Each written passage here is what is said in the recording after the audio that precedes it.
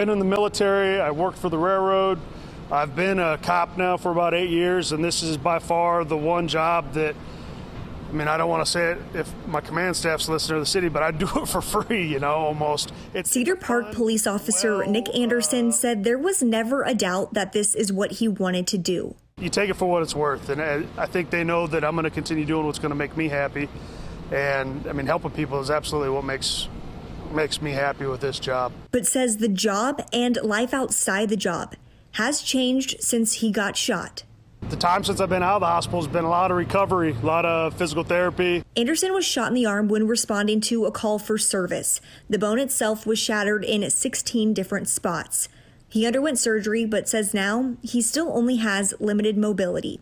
It's still about 60 40% chance that it's ever actually going to heal enough for me to get back to full duty. Anderson says everything seemed normal about the call at first, but it was when he and his fellow officers began a forced entry into the home is when Joseph Deshaun Taylor began shooting at them.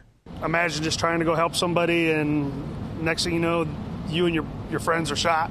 I mean, it's it's a horrible feeling. He said a million things go through your mind when something like that happens. You know, your life flashes before your eyes, and you do, at least for me, you know, you think about a million things all at once, and the only thing uh, I could think about personally was I'm not going to die in the house and I'm going to get out and be able to see my, my friends and my family again. Taylor held law enforcement to a nearly 16 hour hostage situation, barricading himself, his mother, and his two siblings inside the home. He's been charged with three counts of aggravated assault on a public officer and three charges of kidnapping.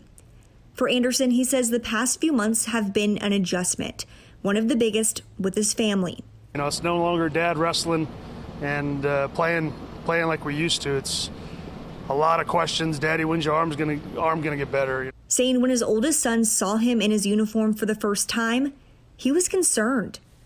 And his first thing out of his mouth was, "Are you gonna get shot again?" Um, you know, that's a pretty hard question to try to answer from a five-year-old. But says it's not something that doesn't cross his mind. You're always going to have that that thought about know, is this going to be another shots fired incident? Is this going to be where it's at? Adding, if it wasn't for his family and the community, he wouldn't have the motivation to come back. It's been pretty phenomenal. I mean, the support that they've been giving,